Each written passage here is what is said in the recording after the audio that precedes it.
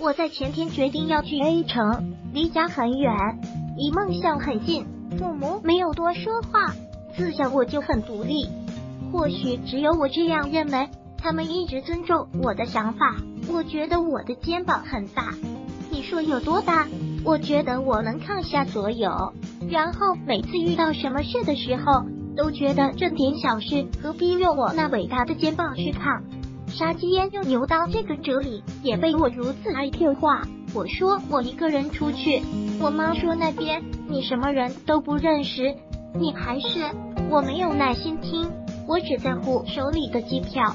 他将让我远行，要走的前天，朋友终于约着聚会，感觉上我似乎要离去很多年，我隐约觉得有压力。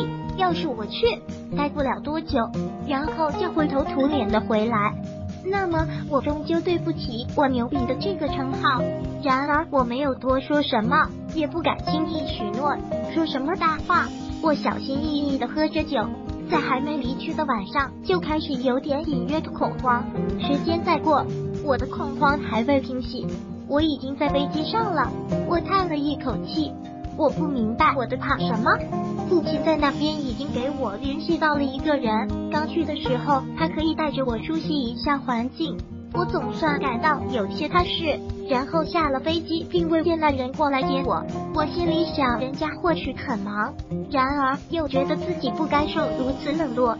一个人打着车到了一个酒店住下，看着完全陌生的环境，车水马龙，我突然觉得。我其实或许什么都不是，然而我不是很独立吗？我这样想，于是也就能安然入睡了。